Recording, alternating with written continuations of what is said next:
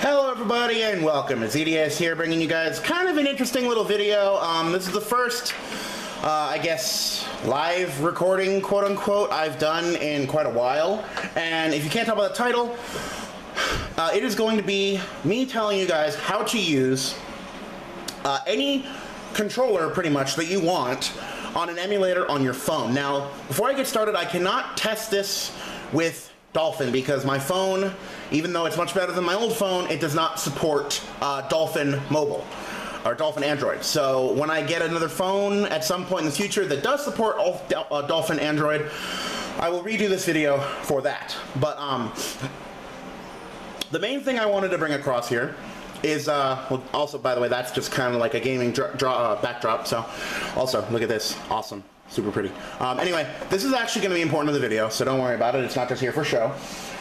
Um, so first thing, there's two different ways that you can connect your controller to your phone. The first and most obvious is Bluetooth, but not everybody has a Bluetooth controller.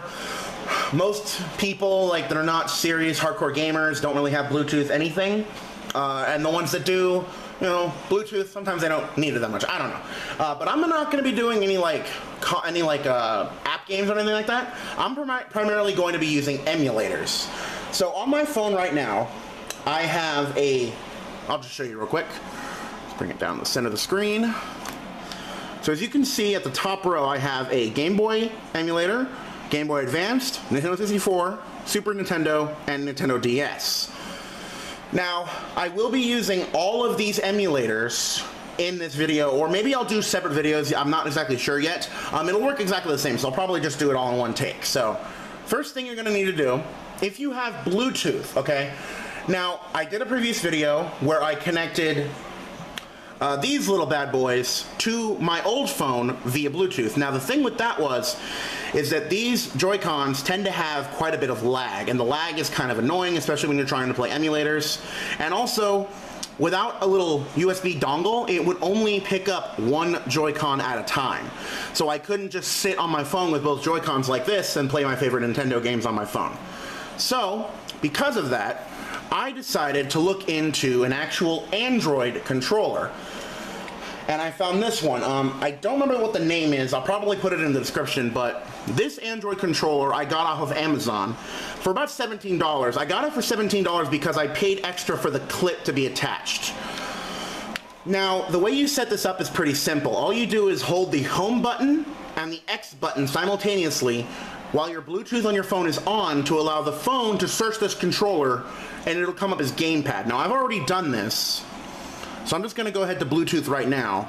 And to reconnect it, you can see it already says gamepad right there. To just reconnect it, all you have to do is hold the, the home button for a few seconds and it'll connect.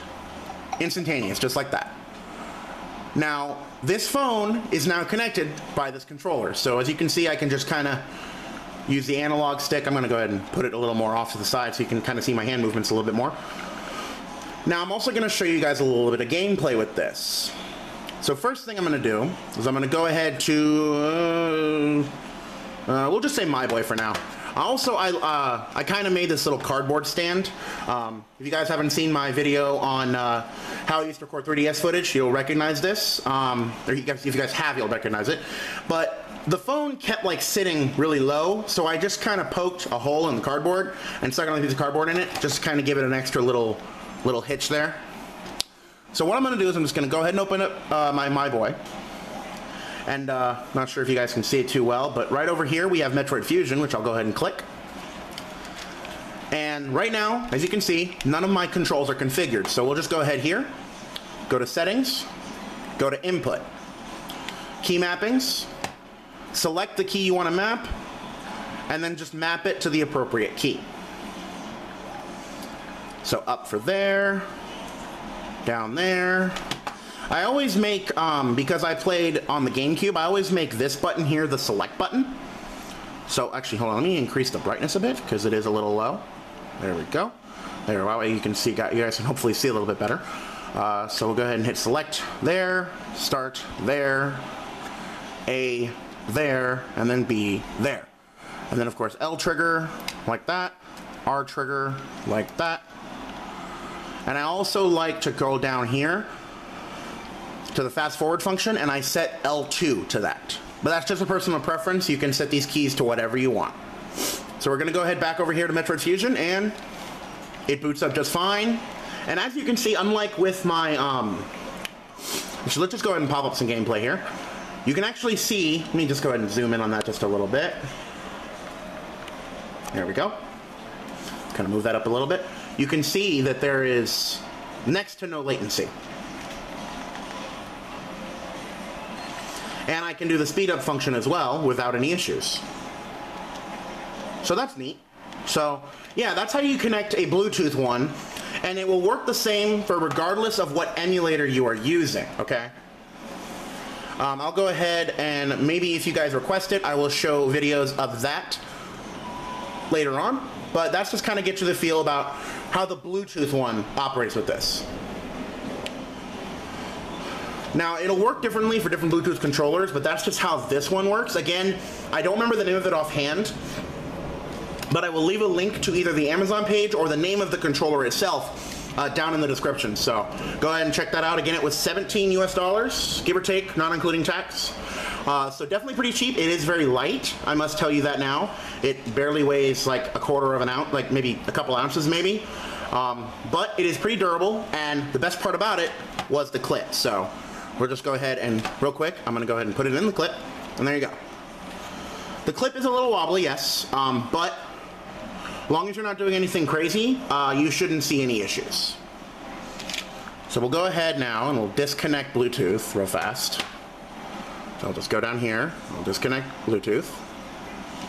And then I'll just hold the uh, center power button to, or center home button to turn it off.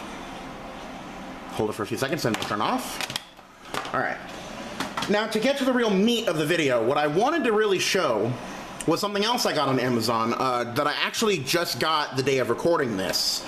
I ordered it on Amazon with um, just a few weeks after I ordered uh, this controller here, uh, my copy of Breath of the Wild for the Switch, and also my um, the little Android controller I showed you. I ordered all that at once. Um, but what I'm going to do is I'm going to show you how to use this on your phone. And it's really simple. This is all you need, right here. It is a male to female USB with a female mini out and a male mini out, okay? The female mini out is not as important, um, at least not for this video in particular, but the male mini out is what we will be using. So I'm going to go ahead and switch between a couple of controllers. Uh, first one I'm actually going to show you is not going to be the, uh, the Switch one that I have on screen right now. I'm actually over here, kind of in the corner here. Uh, I'm grabbing my previous uh, gamepad controller, okay? That is my Xbox 360 controller I got from GameStop. It's not an official Xbox controller, obviously. It's one of those, you know, crappy knockoff ones, but it does have, obviously, USB male to mini USB male. So I'll just go ahead and plug that in off screen, kind of loop it around. And it's really simple, guys. All you gotta do is plug in to the USB female, and then plug in the USB male into the into the female or the USB mini male into the female port of the controller or of the phone. And as you can see, we are connected. We're connected as fourth player for some strange reason, but as you can see as well, it's working. See? So I'm gonna go back into Fusion real fast, because it's the easiest to set up. And there we are. We are set up. See? Same as before. This time I have the speed up function on this one set to a different button. Yep, and there's the start button, jump button, shoot button. And again, absolutely no latency. So we'll go ahead and scroll down out of here. And I'm just gonna unplug the controller here. I'm gonna plug in my next one, which is a genuine Switch controller, but it is not the Metroid themed one that's on screen. It's actually the one that I bought prior to that. Uh, this one I got at Target for about, uh, I want to say 30, 40 bucks, uh, maybe a little bit less, maybe it was like 20 something. I don't remember. Uh, for some reason it comes with a detachable D-pad. I, I, don't know why you would want that, but I mean if you do, it's there, so I guess that's cool. Alright, so I'm just going to go ahead and grab this cord again. If I can reach for it, jeez. It's all looped in on itself. Alright. So we already have the dongle inside of the of the phone. So I'm just gonna plug this in. Just gonna plug it in right there. And we'll just go ahead and hit back real quick on the home page. And there you go. Also immediately operational. So we'll go back to the Game Boy emulator. There you go. Uh, actually, the buttons are configured a little weird on this one. Uh, so, but yeah, um, that's because of the custom mapping. Um, but you can, again, map the controllers to whatever you want. Uh, seems that this right here is the A button. Um, doesn't seem to have a speed up function. Uh, that's A. Okay, so Y is set to fire. So apparently this uh, got auto mapped um, because I have not actually connected this controller yet. And nothing is set, okay, so that's set to R. ZR is set to R here. Nothing is set to, um, to speed up. But again, it's completely just one-to-one -one ratio. Just nothing wrong with it at all. All right, one more. And again, guys, if you would like me to test out other controllers um, or other game emulators, I have no issue with that. Whoa, whoopsie. I do that all the time, actually, guys, but it's stable. It's fine. Yeah, so if you guys want me to do other emulators, um, go ahead, leave suggestions in the comments. I get, to, I read every comment you guys post, so I have no issue with uh, following any of your guys' requests. But now I'm going to test it with my Metroid Samus controller for the Switch. Still beautiful, gold and red, two of my favorite colors. Uh, and again, same thing. I'm actually going to go ahead and plug it right into the micro USB. It's going to go, or the uh, female USB. And again, we'll go back to the home page. And again, you can see it works just fine. You see the little uh, little box up here kind of moving around. You know, for this one, actually, I'm going to show you something else. I'm going to show you guys, uh, yeah, the DS emulator to let you know that it does work just fine here too. So we're going to go ahead and load a new game, hit Pokemon White, and hit start. Now, this controller appears to be mapped, so we're just going to go ahead and hit fast forward, because I always like having fast forward on this game. Alright, so apparently, just like with the other game, uh, the B button here is mapped as the, uh, the A button. We'll just go ahead and turn that on. As you can see, I was playing a bit of Pokemon White 2 recently. Um, but yeah, same deal, one-to-one uh, -one precision. And that's the B button here. So yeah, no lag, no lag at all. This is also thanks to the fact that my, um, my phone is pretty powerful. Uh, it's not very strong, and it's not strong enough to do a Dolphin, obviously, or Citra, uh, the unofficial Citra Android emulator, but it is fast enough to do everything else. And you know, Pokemon doesn't isn't really taxing on a system. But uh, for the sake of example, you know what? Yeah, why not? This video is already long enough as it is, so hell, why not? All right, I'm gonna go ahead and test this. So here we have my N64 emulator, Mupen. Okay. Now for this, I already mapped most of the keys prior to this video. I mapped up, left, right, down, D-pad's all mapped, L's mapped, Z's mapped, R's mapped. Uh, B is not mapped, so we're to go ahead and select B. That's to be B, and then that's going to be A. So we got A, we got B, up and down, and then weird thing I do for this is that I actually use um, for this I use the Y button for the left C button and the X button for the right C button.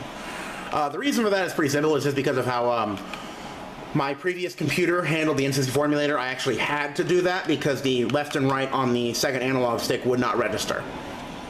We'll go ahead and back up out of here. Now, um, for the sake of argument here, we're going to go ahead and select a different game. Um, I was going to do Banjo-Tooie, but uh, Banjo-Tooie on my phone has major graphical issues. Um, so also pardon the frickin' airplanes if you can hear that, guys. It's annoying to me too, trust me. So let's go ahead and select Banjo-Kazooie here. Uh, I'm gonna... I'm gonna... Yeah. I'm gonna... Hold on. Eh, let me get this out the way. There we go. Okay. Now, theoretically, this could possibly be used for a second controller, but I have no idea how. Um, if you guys know in the comments, please let me know. I'd love to hear it. Anyway, so I'm going to disable cheat for this and hit resume. It'll load it up. Yep, there you go. Banjo-Kazooie still has graphical issues, as you can see from the, uh, sorry about that. As you can see from the stuttering background. All in all, it works just fine. I mean, I hope you guys don't have seizure issues, because I sure don't. Yeah, I don't have the ground pound yet. I only just started this file. So, but yeah. So that, my friends and family, is all different types of controllers. We have, once again, so let me zoom out if I can a bit. There we go. We have an Nintendo Switch controller here, which is not a Pro controller. It's, well, actually it is a Pro controller, I think. Uh, either way, we have that. We have my Xbox controller. We have an Android exclusive controller. And a second Switch controller, all working with no issues on my phone. So yeah, guys, if you guys have any questions whatsoever, please make sure to leave them in the comments down below. I hope you guys enjoyed the video, and I hope to see you guys in the next one. Uh, this has been ZDS, making YouTube fun one video at a time, and I will see you guys in the next video. Have a good night, everybody.